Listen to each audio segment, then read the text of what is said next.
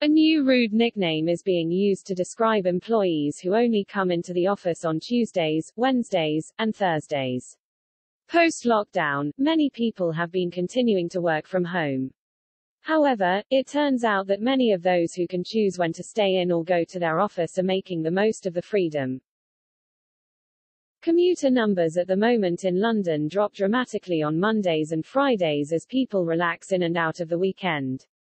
City AM reported that in the City of London there are 20% more commuters on Tuesdays than Mondays and 35% more on Thursdays.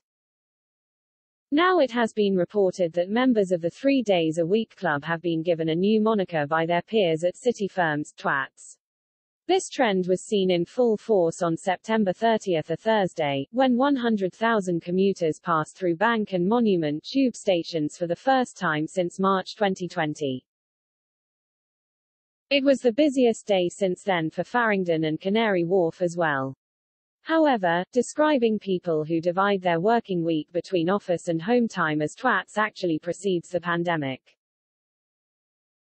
Rory Sutherland coined the term in January 2019 in a Spectator column, describing people who came into the office for meetings and stayed at home to do more menial tasks. Twat was capitalized as such to stand for Tuesdays, Wednesdays and Thursdays. Sutherland was actually complimentary of the idea and wrote, I'm not sure the name is going to catch on, but the behavior should. The more people become twats, the more effective twattery becomes. Earlier this week, Boris Johnson urged workers to get back to the office as much as possible following the lifting of COVID guidelines in July. He told LBC, We are certainly encouraging people to get back to work in the normal way. And I think that's a good thing. For young people in particular, it is really essential if you're going to learn on the job, you can't just do it on Zoom.